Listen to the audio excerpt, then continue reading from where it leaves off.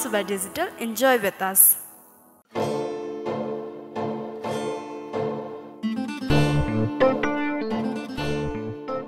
नमस्कार दर्शक वृन्द बिएम मनोरञ्जन समाचारमा यहाँहरूलाई हार्दिक स्वागत गर्दछु मनोरञ्जन समाचारमा मुख्य मुख्य समाचारहरू अभिनेता भुवन केसी चलचित्र माइतीघर दुईको लागि पुगे सिक्किम निर्देशक सुदर्शन थापाको चलचित्र राजामा राजा बन्दै अभिनेता राज कटुवाल अभिनेता गौरव पहाडी अभिनेत्री रेविका गुरुङ सुर्बिना कार्कीको मुख्य भूमिका रहने चलचित्र काँडेतारको छायाङ्कन सुरु।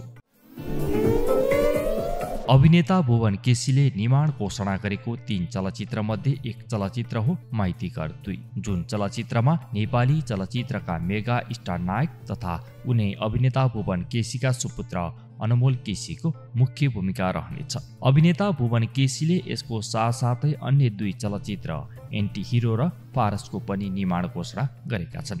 तर भुवनले आफ्नै होम प्रोडक्सनबाट निर्माण घोषणा गरेका यी तीन चलचित्र एन्टी हिरो पारस र माइतीघर दुई घोषणामै सीमित बनिरहेको छ। त्यसै गरी नेपाली चलचित्रको बजारमा अभिनेता भुवनले निर्माण घोषणा गरेका यी तीन चलचित्र बन्छन् कि बन्दैनन् भन्ने खालका विभिन्न टिका टिप्पणी पनि हुन थालिरहेको छ। यसै क्रममा सिक्किम सरकारले विश्वका जुनसुकै भाषामा बन्ने चलचित्रको छायाङ्कन सिक्किममा गरेको खण्डमा एक करोड भारतीय रुपैयाँ सहयोग गर्ने घोषणा गरेसँगै अहिले नेपाली चलचित्रका निर्माताहरू पालै पालो सिक्किम पुग्ने क्रम बढिरहेको छ। सिक्किम पुग्ने निर्माताहरूको हुलमा एक अभिनेता निर्माता तथा निर्देशक भुवन केसी पनि रहेका छन्। उनी निर्माता राजेश खतानीलाई साथमा लिएर सिक्किम पुगेका थिए। बुझिए अनुसार अभिनेता भुवन सिक्किम सरकारको अफरबारे विस्तृतमा बुझ्न सिक्किम पुगेको बताइएको छ। अभिनेता भुवन पनि आफूले घोषणा गरेका तीन चलचित्र मध्ये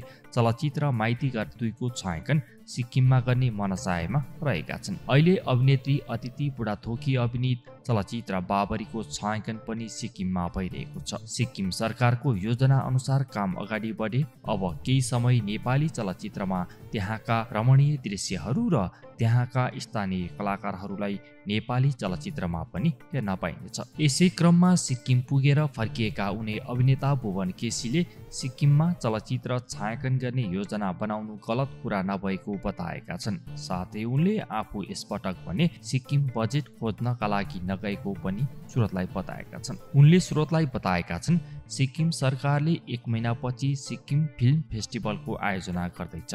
सोही महोत्सवमा नेपाली चलचित्र र संस्कृतिलाई कसरी समावेश गर्न सकिन्छ भन्ने विषयमा कुराकानी गर्न गएको बताएका छन्। भुवनले म जहिले पनि नेपाली चलचित्र विश्व बजारमा पुग्नुपर्छ भन्ने सोचाइमा हुन्छु।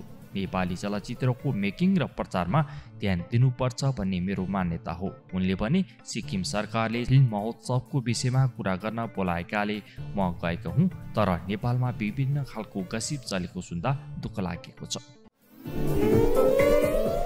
निर्देशक सुदर्शन थापाको नयाँ चलचित्रमा अभिनेता राज कटुवालको अभिनय रहने भएको छ। लभ स्टोरी कथामा चलचित्र बनाउन सिपालु मानिएका निर्देशक सुदर्शन थापाको नयाँ चलचित्र राजामा अभिनेता राज कटुवाललाई एक्सन अवतारमा देख्न पाइने भएको हो। लभ स्टोरी चलचित्रबाट एक्सन प्रधान चलचित्रको निर्देशनमा मोडिएका निर्देशक सुदर्शनले निर्देशन गर्न लागेको चलचित्र राजालाई निर्माता परशुराम बस्नेतले निर्माण गर्न लागेको हो। चलचित्रमा नायक राज कटुवालको मुख्य भूमिका रहनेछ। अन्य कलाकार पनि चाँडै नै फाइनल गरिने निर्देशक थापाले बताएका छन्। चलचित्रको कथा शिवम अधिकारीले लेखिरहेका छन्। निर्देशक थापाले गएको लक्ष्मी पूजाको अवसर पारेर चलचित्रको निर्माण घोषणा गरेका थिए। चलचित्रको छायाङ्कन माघबाट सुरु गर्ने तयारीमा यसको निर्माण पक्ष रहेको बताइएको छ। सुदर्शनले निर्देशन गरेको चलचित्र म यस्तो गीत गाउँछु दुई प्रदर्शनको तयारीमा रहेको छ। चलचित्र।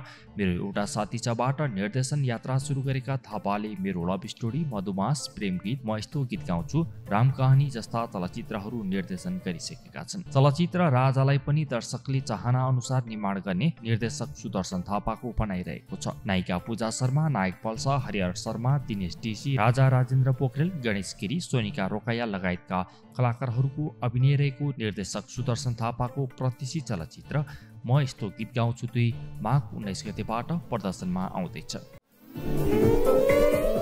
अभिनेता गौरव पहाडी अभिनेत्री रेबिका गुरुङ सुरबिना कार्कीको मुख्य भूमिका रहने चलचित्र काँडेतारको छायाङ्कन सुरु भएको छ। कलाकार निर्माता तथा निर्देशक नवल खड्काको निर्माणमा बन्न लागेको यस चलचित्रको छायाङ्कन विराटनगरबाट सुरु भएको हो। निर्माता समेत रहेका निर्देशक नवल खड्काले चलचित्र काँडेतारको पहिला छायाङ्कन सक्ने र त्यसपछि मात्र चलचित्रको प्रचार गर्ने मनसाएका साथ गुपचुप रूपमै चलचित्रको सुटिङ विराटनगरबाट सुरु गरेको बताइएको छ। साथै नेपाल र भारतको सिमानामा काँडेतार लगाउनु पर्छ भन्ने विषयमा बन्न लागेको यस चलचित्रको कथा महत्त्वपूर्ण भएकोले छायाङ्कनमा कहीँ कतैबाट अवरोध नहोस् भनेर पनि चलचित्रको सुटिङ सुटुक्क गरिरहेको निर्देशक खड्काले सुरतलाई बताएका छन्। चलचित्रमा गौरव पहाडी रेबिका गुरुङ र सुरबिना कार्कीको अलावा रविन्द्र रञ्जन झा राजेन्द्र भगत पन्नालाल सिकदार प्रकाश अनुराग प्रेम कार्की महेश गिरी लगायतको पनि मुख्य भूमिका रहनेछ।